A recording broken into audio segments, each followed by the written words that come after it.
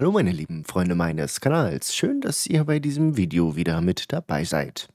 Heute haben wir wieder jede Menge kurze Schnipsel mitgebracht. Das heißt, ganz viele kurze Anrufe, die nicht für ein ganzes Video gereicht haben, aber doch ziemlich unterhaltsam und sehr ja, aufschlussreich sind, was wir da eigentlich so genau für Menschen am Telefon haben. Ich wünsche euch viel Spaß mit diesem neuen ja, Video und den vielen kleinen einzelnen Telefonaten. Hallo? Kannst, kannst du mich hören? Ganz schlecht immer noch. Nee, da ist nichts besser. Da ist einfach nur laute Musik im Hintergrund. Das tut mir leid, das sind, ich habe hier viele Kollegen, deswegen ist es ein bisschen laut ab. Ja, aber die Musik stört. Aber äh, ich denke mal nicht mehr, oder? Doch. Weil ich was geändert. Ja, das ist ja egal. Das, die Musik ist immer noch lauter als die Stimme. Die Musik ist lauter als, Ja, als die Stimme. als die Stimme. Okay, ich, ich, Sie haben mich auf, auf Lautsprecher gesetzt, oder? Ja. Okay, ich kann mich, äh, ich kann es hören, also Sie können auch mich verstehen. Ich kann es weiter buchstabieren. Ja, aber nur ganz schlecht. Und da habe ich keinen Bock drauf. Okay, ich werde, äh, wann hast du heute noch Zeit? Ja, eigentlich gar nicht mehr.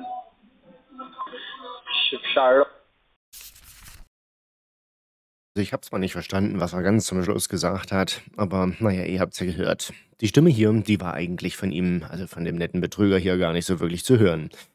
Letztendlich ist es ja alles wieder rausretuschiert mit der Musik, dass man nicht ganz so viel Musik aus dem Hintergrund, also von dem Krach so mitbekommt, aber es war einfach nur furchtbar, hier dem zuzuhören. Und dementsprechend, tja, haben wir das Gespräch hier erstmal sein lassen. Denn grundsätzlich ist mit der Musik ja immer so ein Problem auf YouTube, dass ich versuche, solche Gespräche entweder so in die Richtung zu lenken, dass sie die Musik ausschalten oder, naja, man lässt's halt, ne, bevor wir hier letztendlich eine Urheberrechtsbeschwerde auf den Videos haben. Hallo? Hallo, schönen guten Tag. Ich spreche gerade mit Herrn Ablazen. Ja. Perfekt, schön Sie am Apparat zu haben. Mein Name ist Justin Garnet. Ich habe Sie angerufen von Bitcoin System und ich habe Sie, äh, Sie haben eine Meldung bei unserer Kompanie gemacht. Deswegen melde ich, Ihnen bei, äh, melde ich mich bei Ihnen. Hören Sie? Ja, ja. Hm? Also haben Sie Erfahrung mit, ihr, mit Investitionen in Börse? Nö. Haben Sie nicht. Wissen Sie, wie kann man Geld da drauf gewinnen? Wie meinen Sie das? Da kann man investieren und Geld gewinnen, also beim Bitcoin, Aktien, Kryptowährungen, Forex. Mhm. Mit einer kleinen Investition können Sie da arbeiten und Geld gewinnen. In der Diskothek. Wie bitte? In einer Diskothek oder was? Nein, nein, keine Diskothek. Ja, aber nach der Geräuschkulisse bei Ihnen zu urteilen, scheint es ja eine Diskothek zu sein. Also, das ist Investitionen in den Börse. Investitionen in Börse, Sie können einen Account erstellen, äh, online aktiv machen. Und mit dieser Online-Banking kann man auch in Investing arbeiten. Also beim Bitcoins können Sie investieren und kaufen und verkaufen und können Sie Geld gewinnen. Ja, und dann hat uns der Betrüger einfach verlassen. Keine Ahnung, warum er hier aufgelegt hat, um das Gespräch zu beenden. Tja, wahrscheinlich war ich ihm wieder nicht seriös genug und er hat schon den Braten gerochen, dass das hier wohl kein Verspr äh, Verkaufsgespräch wird. Ich weiß es nicht. Einfach nur immer wieder unterirdisch mit diesen Betrügern. Die rufen aus einer halben Diskothek an, haben eine Partystimmung im Hintergrund und, naja, wollen von euch nebenbei ein bisschen Geld ergaunern. So läuft's halt bei den Betrügern. Hallo, guten Tag. Mhm. Ich spreche gerade mit Herrn Knusprig. Knusprig, knusprig. Knusprig, Knusprig. Schön, Sie am Apparat zu haben, Herr. Äh, Martha Rammel spricht hier. Wie geht es Ihnen? Mhm. Sind Sie gut? Was? Freut mich, freut mich.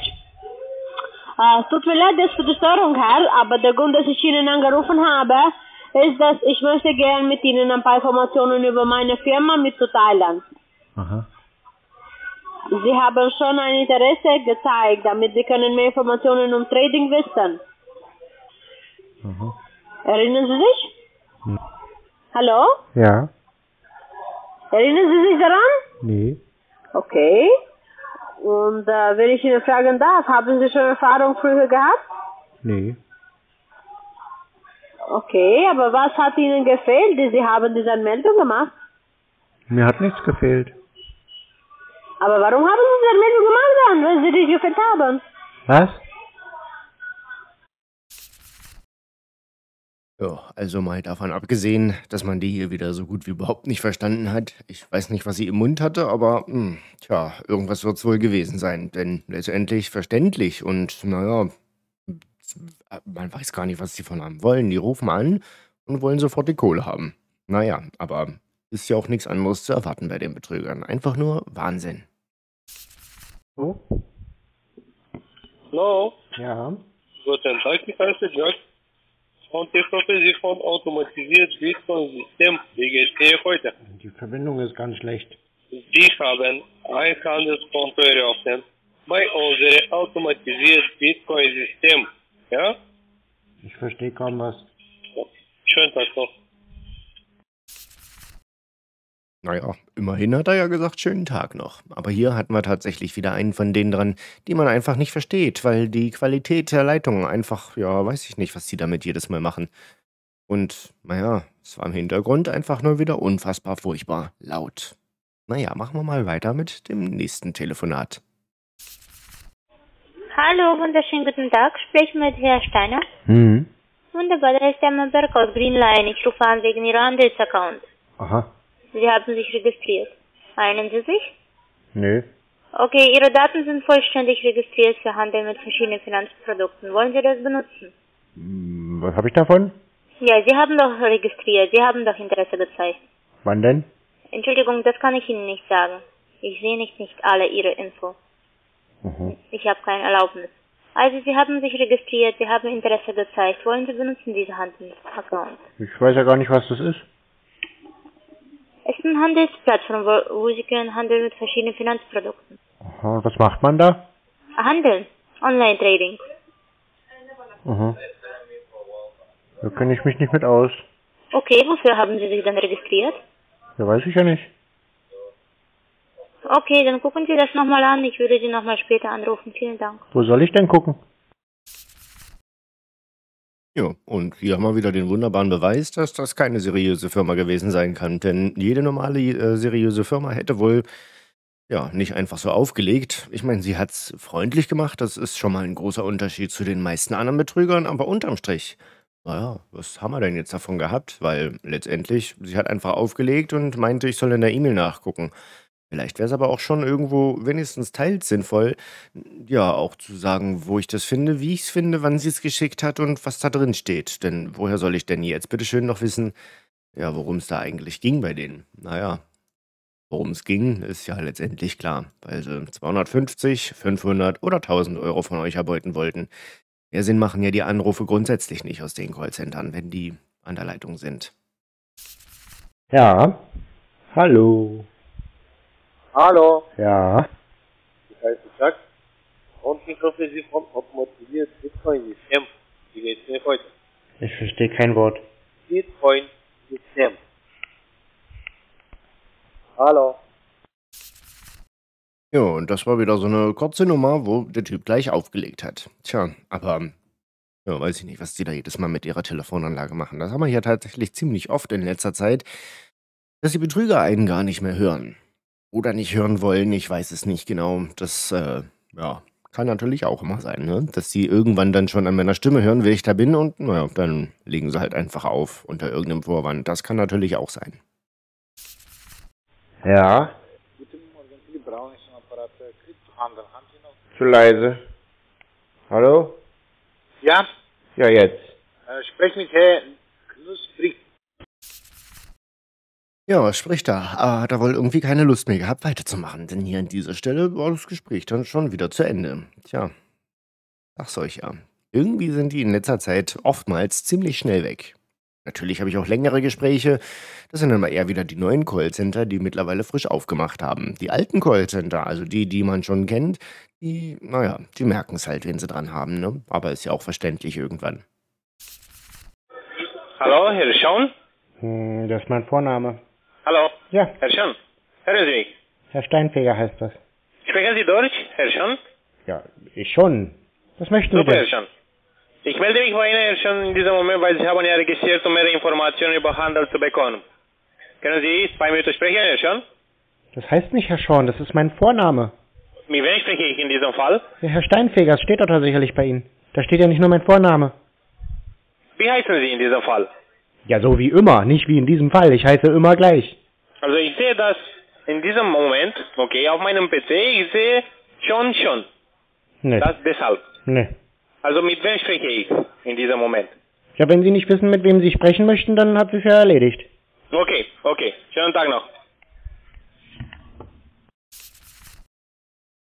Ich glaube, das war der gleiche Typ von vorher und ich glaube, da muss man auch gar nicht mehr so viel dazu sagen, denn, naja, schon Wahnsinn.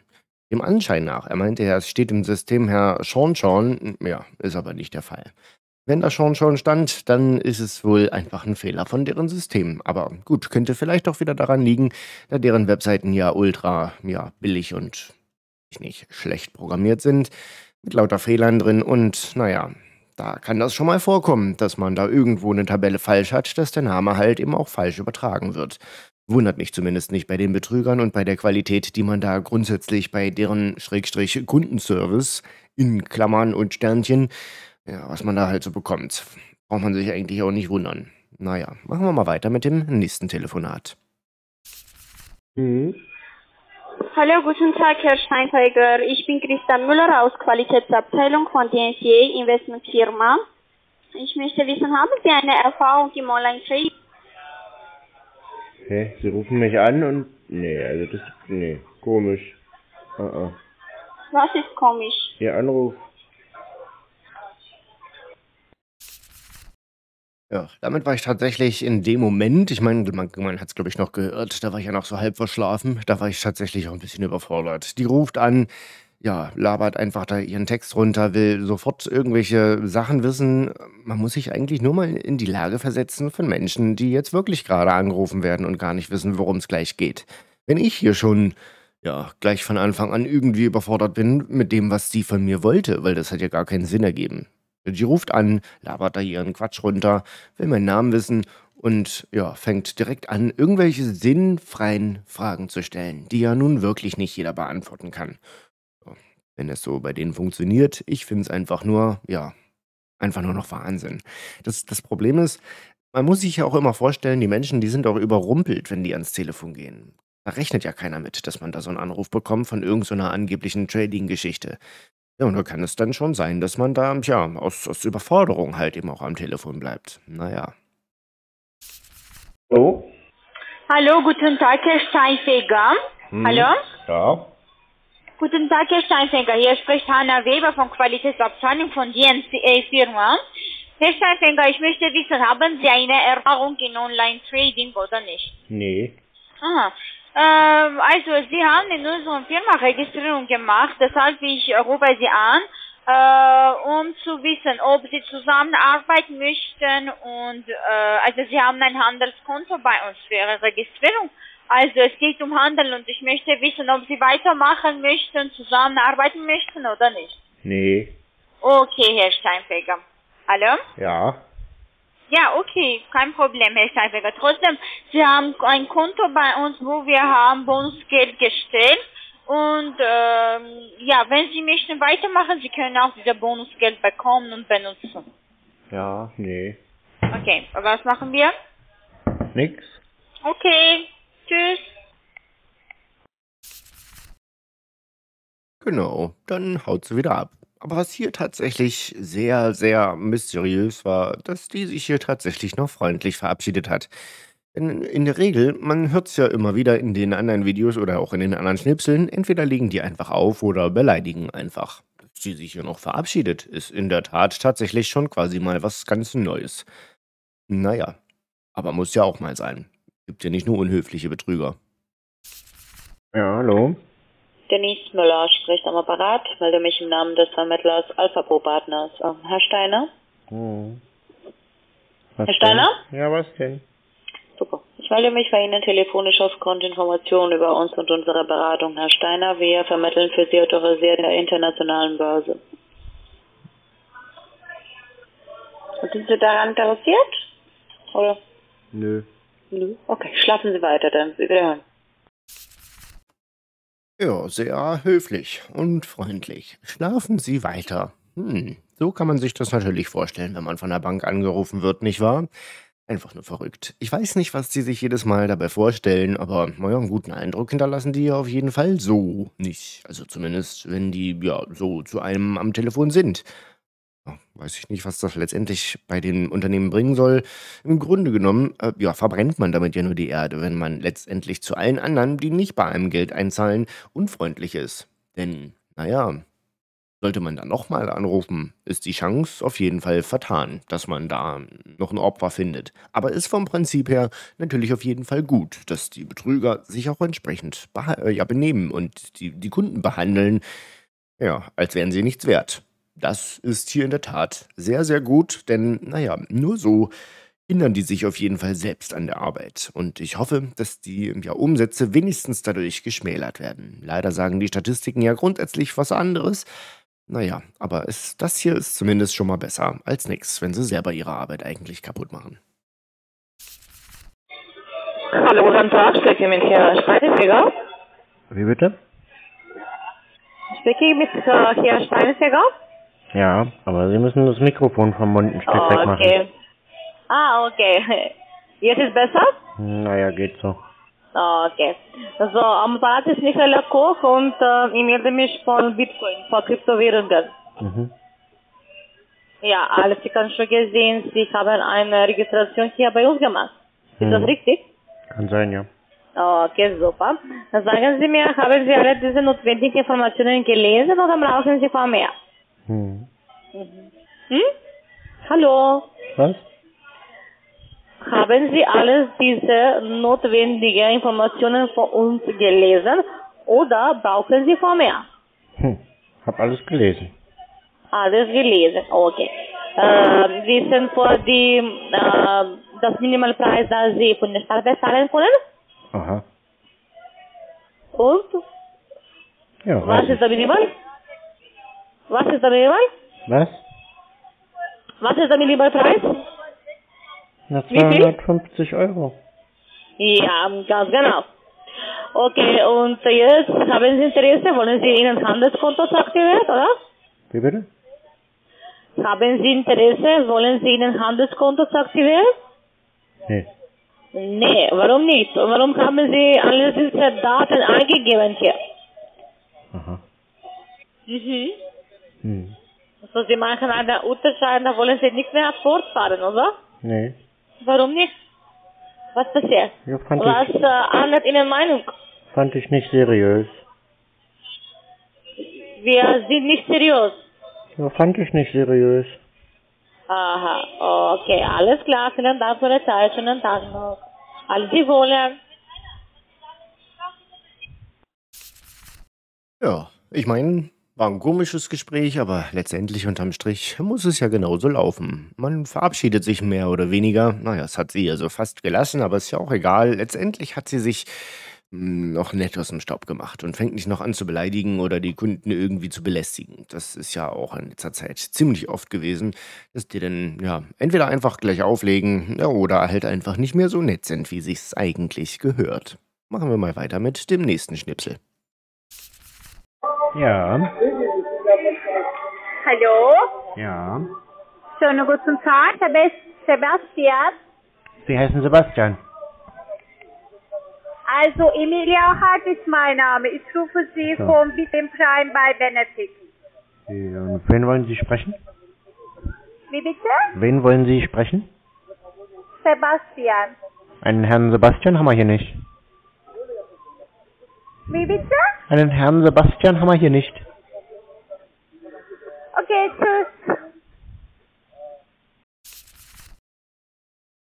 Tja, so ist das halt, wenn die Betrüger irgendwie den Nachnamen nicht lesen können. Habe ich euch ja auch schon öfters gesagt. Oftmals ist es so, dass sie den Nachnamen entweder, naja, da stand halt Lümmeltütchen, dass sie den Herrn Lümmeltütchen nicht vorlesen wollten, wobei ich mir jetzt hier fast vorstellen kann, dass die das sowieso nicht begriffen hat. Ja, aber oftmals geht es eigentlich nur darum, dass sie den Nachnamen nicht sagen wollen, weil er zu kompliziert ist. Nachnamen sprechen sich in der Regel ein bisschen schwieriger als der Vorname. Der Vorname ist in der Regel einfach, wenn es ein deutscher Vorname ist. Und das ist halt der Grund, warum die Betrüger dann halt einfach den Namen ganz weglassen, also den Nachnamen zumindest. Ja, so habe ich zumindest das Gefühl, weil anders kann ich mir das überhaupt nicht mehr erklären, warum die jedes Mal anrufen und den Vornamen benutzen. Hallo, guten Tag, Herr Teller. Was denn? Hallo, können Sie mich hören? Ja. Schön, Sie am Apparat haben Herr Teller, Naumkowski, mein Name. Und ich rufe Sie an von einer Lagerberatungsfirma. Eine Lagerberatungsfirma.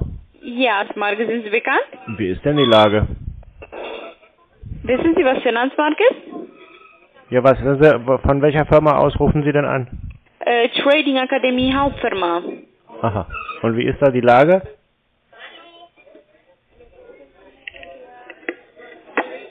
Ich dachte, Sie machen Lageberichte. Hallo. Mäuschen.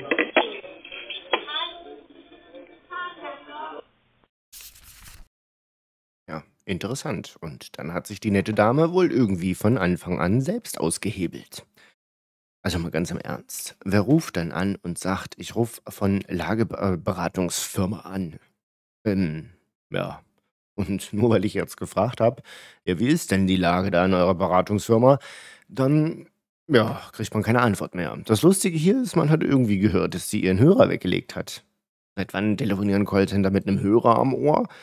Das ist mir auch neu. Aber naja, ich sage mal so, man braucht sich hier bei denen auf jeden Fall über nichts mehr wundern. Denn am Ende ist das alles nur noch komisch in diesen Callcentern. Aber gut, wenn die so der Meinung sind, dass sie ihr Geld verdienen oder nicht bekommen wollen, na, dann ist es halt so. Tja, so hat sie sich das Gespräch auf jeden Fall wieder selbst ausgehebelt und dadurch eben auch selbst beendet. Und das Gute ist, hier in dem Fall wurden wir nicht betrogen. Also auf jeden Fall, ja, ist das wieder ein Indiz dafür, dass es hoffentlich viele Menschen gibt, die sich so automatisch selbst schützen, nur weil sie einfach das Falsche gefragt haben. Aber naja, das Problem ist halt, die meisten, die wissen halt auch nicht, wenn das Telefon klingelt, was da gleich für ein Anruf kommt. Ja, und dann wundert man sich erstmal. Naja, machen wir mal weiter mit dem nächsten Schnippelchen. Hallo? Ja, hallo, schönen guten Tag. Spricht wieder Herr Schell. Ja. Ich grüße Sie. Ich bin Thomas, äh, Thomas Andersson. Ich rufe Sie jetzt gerade von der Investing Academy, von der Firma Velocity Trader. Äh, wir sind äh, eine Online-Trading-Plattform. Äh, beschäftigen Sie sich mit Online-Handel? Nee. Wie bitte? Nee. Beschäftigen Sie nicht, ja? Ja. Also haben Sie haben Sie keine Erfahrung mit Onlinehandel, ja? Nee. Wieso? Da habe ich mich noch nicht mit beschäftigt. Aber Interesse gezeigt haben Sie auch. Ja? Äh, wenn, wenn Sie möchten, äh, wenn, Sie, wenn Sie fragen, wo sind Sie interessiert, in welche in welche Finanzmarkt? Gar keinen. Wie bitte? Gar keinen. In Kraken. Gar keinen. Machen Sie Spaß. Nee. Ja? Nee. Schönen Tag so. Aha. Okay. Tja, da haben wir auch wieder ganz eindeutig einen Anruf gehabt, mit dem man irgendwie nichts anfangen kann. Denn was wollte der jetzt eigentlich hier so genau am Telefon? Ja, außer seinen komischen Quatsch loswerden und irgendeinen Blödsinn erzählen. Naja, aber so ging das Gespräch auf jeden Fall wieder schön schnell zu Ende. Ja. Ja, hallo, schönen Tag, Thomas Andersson am Telefon. Spricht der Gustav? Das ist mein Vorname. Äh, Gustav äh, Brentote, ja? Bentort ist mein Nachname, richtig. Ja, genau. Ich grüße Sie. Äh, ich rufe Sie jetzt gerade von Investing Akademie von Bitcoin System. Wir sind eine informative Seite, informative Büro, wo wir informieren und sprechen über Online-Market, über Möglichkeit, was haben Sie mit äh, Trading, was, äh, äh, verstehen Sie mich, was ich meine? Ja. Äh, wenn ich fragen darf, Herr Gustav, äh, beschäftigen Sie sich mit Online-Handel? Haben Sie schon mal Erfahrung mit Trading? Ja, habe ich mir schon mal angeguckt, ja. Und, äh, und von was haben Sie Interesse? Wie meinen Sie die Wo Frage? sind Sie interessiert? Ja?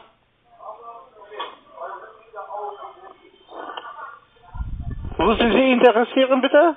Ja, wie meinen Sie die Frage? Bitte, Und dann hat er uns einfach wieder verlassen. Tja, warum das jetzt hier wieder so schnell zu Ende war, weiß ich auch nicht. Aber unterm Strich, ja, auch wieder eins von den guten Telefonaten, wo die Betrüger sich irgendwie, ja, selbst das Brett absägen, auf dem sie sitzen und ja, dadurch halt eben nichts verkaufen und eigentlich im Grunde genommen eben auch einen Datensatz verschenken. Ja, das ist auf jeden Fall immer am besten, wenn die ihre Datensätze selbst zerschreddern und ja, den Kunden dann in Ruhe lassen. Ja, und einfach auflegen. Aber man kennt es ja nicht anders, ne? Irgendwie sind die, weiß ich nicht, alle nicht auf der Höhe. Aber gut, umso besser. Hallo, Ja, guten Tag, ich bin Markus Kaik, ich spreche gerade mit dem Herr Woltmann. ja.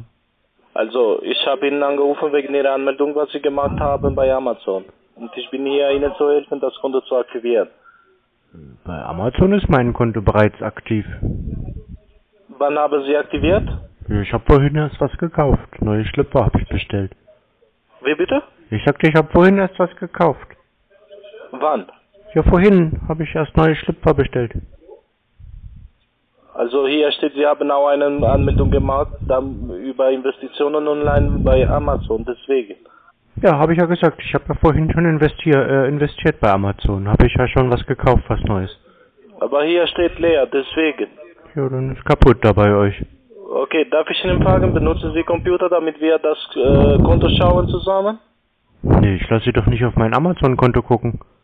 Warum nicht? Ja, das geht sie doch nichts an. Also sowieso ist es unsere Seite, Herr äh. Nee, Deswegen- Amazon gehört ihnen nicht.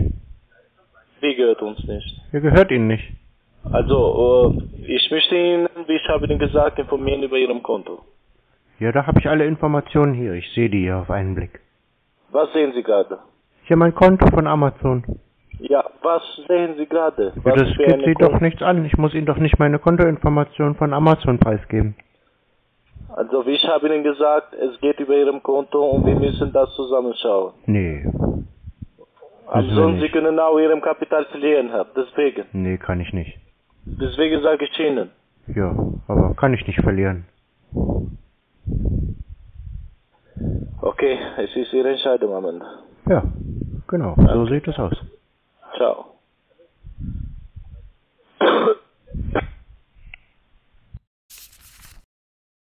Also wie immer, der absolute Wahnsinn. Was will der jetzt hier mit Amazon erzählen? Also, ich sag mal, wenn man logisch denken kann, ja, dann geht es um irgendwelche Amazon-Aktien. Aber das hat ja absolut überhaupt gar nichts mit Amazon zu tun. Man kann ja Amazon-Aktien auch unabhängig von Amazon kaufen und braucht sich nicht dazu bei Amazon einloggen. Und dass der, der hier angerufen hat, auch wieder der deutschen Sprache nicht so richtig mächtig gewesen sein muss, ich glaube, das erübrigt sich auch von selbst.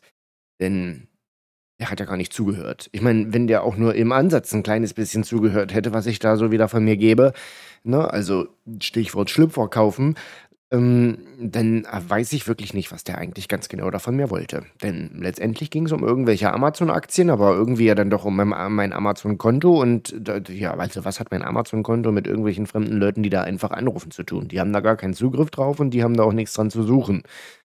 Aber gut, das Schlimme ist, dass sowas halt leider wohl irgendwie immer funktioniert. Ja, bitte. Ranjit am Apparat. Wer ist da dran? Ranjit, Ranjit. Was?